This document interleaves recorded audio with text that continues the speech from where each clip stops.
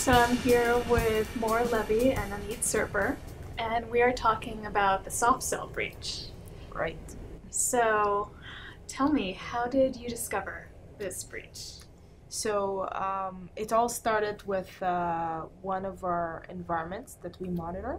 Um, basically, what we saw was just a malware being triggered. Um, and then, you know, we started the investigation, uh, starting peeling the on- onion layers.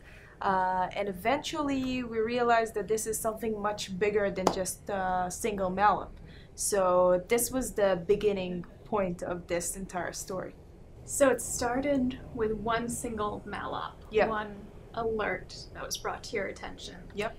How quickly did you see that there was something bigger at play? I think within a few hours. So it all started with our SOC team, our global SOC team, uh, you know, starting the investigation, um, you know, starting to see more and more TTPs and IOCs, some interesting stuff. Um, and then, you know, Amit got pinged about, uh, hey, Amit, can you see uh, this map? Can you have a look? And this was our oh shit moment kind of kind of thing. Yeah. So, Amit, there was some malware that is known malware that was used in this attack.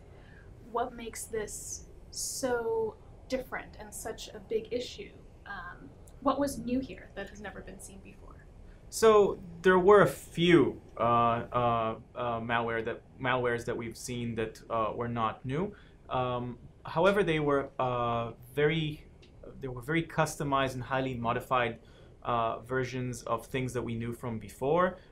Be it a, a custom a customized version of uh, of Mimikatz, downright to a customized version of the China Chopper web shell, or even uh, Poison Ivy Rat, which is um, uh, not not that new uh, um, rat, but uh, it was a customized version with a bunch of features that uh, we've never we haven't really seen before, especially lately since Poison Ivy is Yeah. not that new.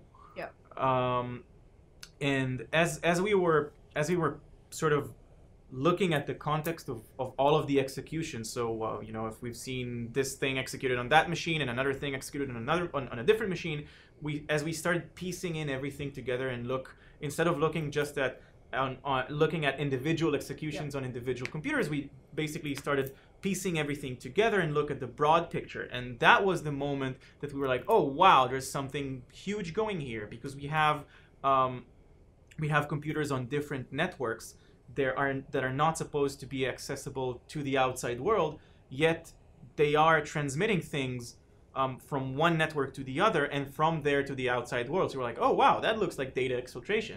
Then we started looking at the volumes of the data and we saw that it's hundreds of gigabytes. And then we started looking at the malware at the malwares themselves. So we saw oh wow look that's a tool and it, that's its its whole purpose is to connect between those two networks that are air gapped oh and look and there's a rat here also. Oh and look and there's a web shell that's executing commands and actually downloading those tools into the internal network. So once we stopped looking at things as as as individual executions on separate machines and we said oh this thing started here and moved here and then finished here we were able to understand that this is actually something with with very big proportions So this was a huge incident that you said, you know, there's gigabytes of data, Yeah. a lot of information being exfiltrated. And we've called this a low and slow type of attack. Yep. Can you talk more about what that means? Yeah, of course. So as Amit started started to talk about and started to mention, we basically saw four waves of attack. Um, we're investigating this campaign for the past nine months, and obviously we're not just investigating this specific uh, environment, but we were able actually to reveal additional companies that were affected by the same threat actor, which we can talk about in a minute. But the low and slow approach, and that's basically what Amit said. So, first of all, there are a few waves of attack, and in addition to that, um, you know, the data is fragmented. You have an alert here, you have another tool there. There's a lot of information that kind of floods your brain.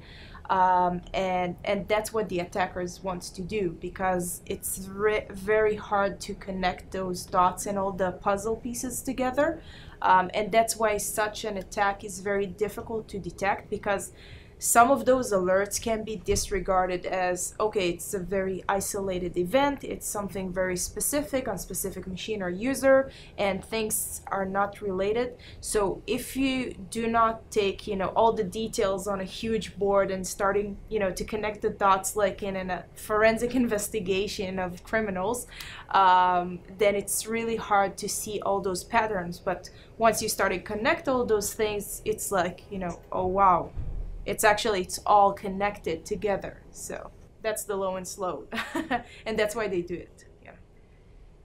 Yeah so it was hard to see everything until you put everything up on the board and started Yes. connecting exactly. things together. Yeah. and in this case why was it important to step back and see all those connections? And once you saw them who did the signs start pointing to? So as as Mor said, um, there were multiple waves. So if we look, I mean, traditionally, when one looks at something, you know, they tend to okay, as I said, one execution on, on a single machine. Hmm, at its own, not that interesting. Could be anything. As you zoom out and look look at the entire thing, you get the proportions of the actual story. When you add on top of that the whole low and slow thing, as we refer to it, we have seen several waves, like multiple waves, but between each wave there was between one to three months of Yeah. nothing. exactly So something would happen, and we'd be like, hmm, interesting, and then there will be silence for three months, for or, or one or two or three months or two and a half months, whatever, whatever. Each time it was different.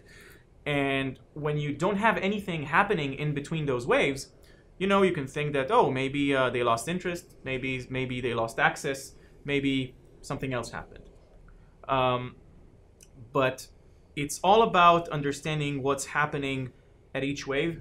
And then when you look at each wave, when you look at the end of wave one and the beginning of wave two, you see that it makes sense because if in wave one they gained access to a particular part of the network, when they'll go, when they'll come back in wave two, they'll basically continue from where they left off and they will spread to wherever they wanted to get. And in this attack, the attackers knew exactly where they're going. It's not like they were wandering around, just stumbling around the network, tro- hoping to, to, to land a domain admin account. They actually knew where they were going. They knew which servers they were after. They knew which queries to run in those servers because they, they dumped databases out. So they knew what they were looking for. So, what you saw was a series of almost quarterly attacks where there would be activity. The attacker would be dormant for a few months and then do something again, be dormant. How important was it to be able to look back at data from the last quarter or two quarters ago, and how did that help the investigation? So this was super important and crucial to the investigation because at the time of each attack or each detection we had, uh, you know, retroactively it's very easy to say, yeah, it's all connected and, you know, you see the big picture. But when you're in the details, you're always looking for leads and you try to cross correlate things that are related to each other. Also uh, having those gaps of few weeks and months between each one of the waves um, causing you to burn out a little bit. Uh, keep in mind that there are many people that worked on this investigation. We're talking about a few individuals in our company including our cooperation with the other uh, companies so the amount of data that was discussed was enormous um, and to have the ability that whenever there is a new wave or a new IOC or TTP that has been discovered, and to go back and to see, okay, it was already exist then, but we weren't able to reveal it because it was so stealthy. Uh, it's very helpful by cross correlating this entire campaign and to actually today to know to say, oh, those were the waves of the attack, when then we couldn't really say those things. So it helped us to create the timeline as well. Anything else you want to add in summary? I think that the big thing here for us is around the type of data that every company has um, and how much value and how sensitive this data could be. Um, also, on the accountability of every company that collects people's data. uh, we can never know which type of data will be considered as an intelligence asset. In the telco specifically, it is probably well known in the past few years that the data that they have is is an intelligence asset. But generally speaking, uh, data is power, power, and money, and so on. Uh, so it's super important to secure that data. That's the big thing here. Thanks so much for talking about SoftCell, Thank you. and you're welcome. For more information, you can see the blog. Yeah, yeah. The full details are on the blog.